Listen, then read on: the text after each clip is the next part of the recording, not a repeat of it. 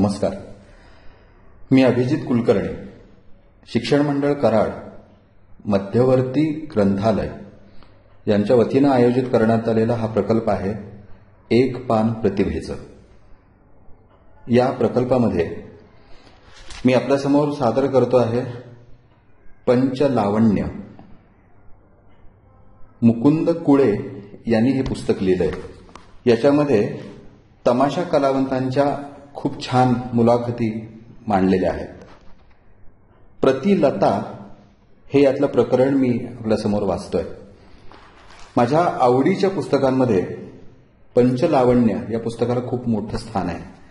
कारण तमाशा ही महाराष्ट्राची शान आहे आणि ती तमाशाची कला ग्रामीण भागामध्ये शहरामध्ये सगळीकडे पोहोचवणाऱ्या या तमाशा कलावंत यांच्याविषयीची माहिती यांच्याविषयीचं जीवन यातून आपल्याला समजतं. मी वाचायला सुरुवात करतोय. प्रतिलता रोशनबाई सातारकर. नेहमीच राया तुमची घाई नक्कालाऊ गठुड बांधायला येऊ कशी तशी मी नांदायला हो येऊ कशी तशी मी नांदायला. एकोणीशे पंच्याहत्तरच्या सुमारास एच एम तर्फे रोशनबाई सातारकरांची ही रेकॉर्ड निघाली आणि भल्या भल्यांची भंबेरी उडाली. विठ्ठल शिंदेने संगीतबद्ध केलेली ही लावणी रोशनबाईंनी अशी गायली की संपूर्ण महाराष्ट्री बाईंच्या नावाचा डंका वाजू लागला. नाक्यावरचा पानाचा ठेला असू दे नाहीतर लग्नात मिरवणुकीसाठी वाजंत्री ठरवायला आलेला मुलीचा बाप असू दे प्रत्येकाला रोशनबाईंची येऊ कशी तशी मी नांदायला हो हीच लावणी हवी असायची. या गाण्याने एवढा गहजब माजवला की साडेतीन रुपयांची गाण्याची रेकॉर्ड पाचशे रुपये ब्लॅकने विकली गेली. रोशनबाईंचे सुगीचे दिवस सुरू झाले.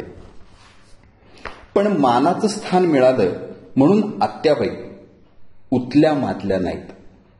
रोशनबाईंना घरचे आत्याबाई असंच म्हणायचे. आपल्या स्वभावातला नम्रपणा त्यांनी कधीच सोडला नाही. त्यांच्या या नम्रपणामुळेच लताबाई आशाबाईंनी आत्याबाईंचं नेहमीच हसत मुखाने आदरातिथ्य केलं. लताबाईंच्या पहिल्या भेटीचं खुमासदार वर्णन आत्याबाईंच्या तोंडूनच ऐकण्यात मजा आहे. त्या सांगतात मला प्रतिलता म्हणायला लागल्यानंतरची गोष्ट.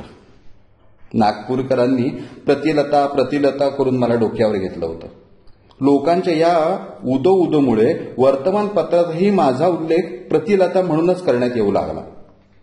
त्यानंतर मुंबईच्या एका मुक्कामात पिला हाऊसला आमचा फड होता. नेहमीप्रमाणेच झोकात नाच गाणं पार पडलं. सारं आटपून थिएटरमधून बाहेर पडलो तर बाहेर एक गाडी आमची वाट बघत उभी होती. आम्हाला बघताच ड्रायव्हरने रोशनबाई कोण? असं विचारून लताबाईंनी बोलावले असं सांगितलं. मी घाबरतच गाडीत बसले. खरं तर माझी हबेलंडीच उडाली होती. मला वाटलं आपल्याला प्रतिलता म्हटलं जात असल्यामुळे लताबाई रागावल्या असणार. मला काहीच सुचेना.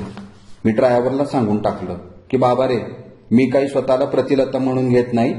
लोकच आपलं मला प्रतिलता म्हणतात. माझं बोलणं ऐकून ड्रायव्हर लागला हसायला. मला आपलं काय चुकलं हेच कळेना. शेवटी माझी घाबरगुंडी उडालेली पाहून तो स्वतःच म्हणाला अहो बाई लता दिदींना तुमच्या लावण्या खूप आवडतात. त्या ऐकवण्यासाठी त्यांनी तुम्हाला बोलावलंय.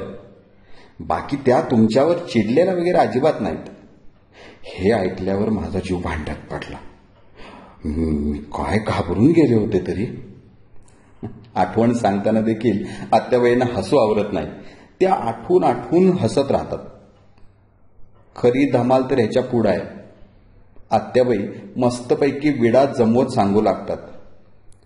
आम्ही एकदाचे लताबाईंच्या घरी पोहोचलो. लताबाई स्वागताला हजरच होत्या. आपण कुणी मोठ्या आहोत असा कसलाच आविर्भाव त्यांच्या वागण्यात नव्हता. त्यांनी प्रेमाने बसवून घेतलं चहा पाणी केलं. तोपर्यंत सारं ठीक होतं पण त्यांच्यासमोर गायची वेळ आली तेव्हा कंठच फुटेना. एवढ्या मोठ्या बाईसमोर आपण कसं गायचं म्हणून जीव नुसता घाबराघुबरा झाला. माझी ही अवस्था लताबाईंच्या ध्यानात आली. त्या म्हणाल्या तू घाबरू नकोस. निश्चिंतपणे गा. मी आडोशाला तुला दिसणार नाही अशी बसते. आणि त्यांनी तसं केलं. त्या आडोशाला बसताच मला कंठ फुटला. मी तिथे लावण्यांची आतषबाजीच केली. मला येत असलेल्या सगळ्या जुन्या नव्या लावण्या म्हटल्या. लताबाईंसकट घरातले सगळे खुश झाले. लताबाईंनी हवं ते मागायला सांगितलं. पण त्यावेळी त्यांच्या आशीर्वादापेक्षा मला अधिक मोलाचं ते काय होतं? रोशनबाई सातारकर मुकुंद कुळेने लिहिलं हे पुस्तक पंचलावण्य. धन्यवाद.